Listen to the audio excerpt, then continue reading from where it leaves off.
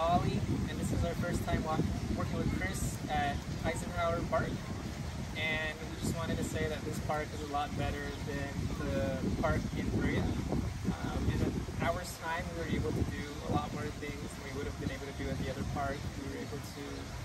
There's a lot more distractions and more variety to do things, so we just highly recommend uh, more trainings at this park.